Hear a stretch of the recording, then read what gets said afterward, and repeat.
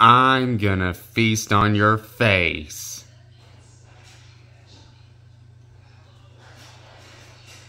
Wait, what?